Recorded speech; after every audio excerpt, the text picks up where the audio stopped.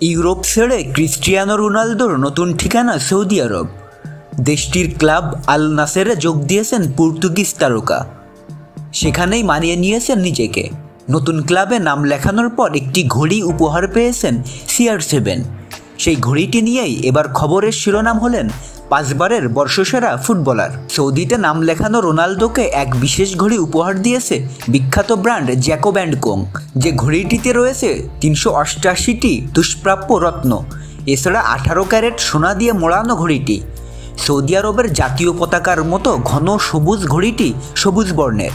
ঘড়ির ট্রাপও সবুজ বর্ণের। এই দুষ্প্রাপ্য ঘড়িটির দামও আকাশ ছোঁয়া। সংবাদ মাধ্যম জানান, ঘড়িটির মূল্য ছয় লাখ তিরিশ হাজার পাউন্ড। বাংলাদেশি টাকায় যার মূল্য ছয় কোটি সাঁত্রিশ লাখ টাকার উপরে। সৌদি আরবে রোনালদোকে একাধিকবার দেখা গিয়েছে বহুমূল্যের সেই ঘড়ি পরে থাকতে।